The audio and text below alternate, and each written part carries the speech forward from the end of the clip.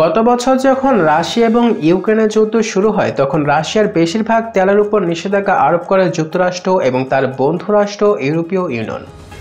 কিন্তু এবার সে রাশিয়ার কাছ থেকে ভরপুর তেল ক্রয় করছে ইউরোপীয় ইউনিয়ন। কিন্তু যখন বাংলাদেশ এমন কিছু করতে যাচ্ছে, তখন বড় বাধার সম্মুখীন হতে হচ্ছে। জানাব বিস্তারিত খবর, তার আগে আমাদের চ্যানেলটিকে সাবস্ক্রাইব করে থাকুন আমাদের পাশে।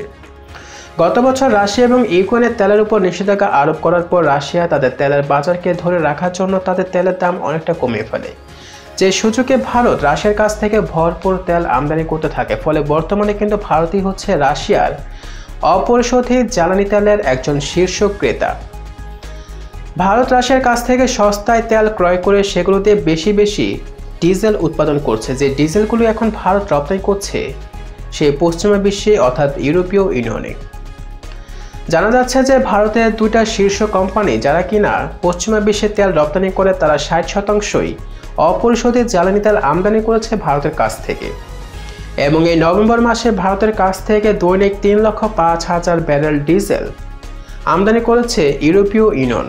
মানে বিশ্ববাসীকে দেখানোর জন্য যে রাশিয়ার তেলের আমাদের কোনো দরকার নেই, আমরা রাশিয়া ছাড়া চলতে পারব, রাশিয়ার কাছ থেকে তারা সরাসরি তেল ক্রয় করছে না। কিন্তু ভারতের হাত ঘুরে সেই তেলগুলো কিন্তু ঠিকই পৌঁছে যাচ্ছে। সেই পশ্চিমা বিশ্বে। হ্যাঁ আমি এটা বলছি না যে পশ্চিমা বিশ্বে যে তেলগুলো ক্রয় করা হচ্ছে, সেটা হান্ড্রেড পার্সেন্ট শিওর যে রাশিয়ার কাছ থেকে ক্রয় করা হচ্ছে।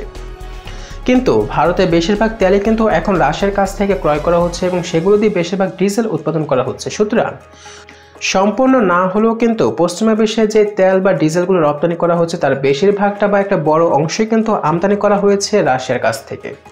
কিন্তু গত বছর যখন বাংলাদেশ রাশিয়ার কাছ থেকে সস্তায় তেল কিনতে চেয়েছিল, তখন কিন্তু আবার বাংলাদেশকে বিশাল বাধার সম্মুখীন হতে হয়েছিল এই পশ্চিমা বিশ্বের কাছ থেকে। এমনকি বাংলাদেশ চান রাশিয়ার কাছ থেকে তেল ক্রয় করতে না পারে, তার জন্য বাংলাদেশকে বিভিন্ন নিষেধাজ্ঞা দেওয়ারও হুমকি দেওয়া হয়।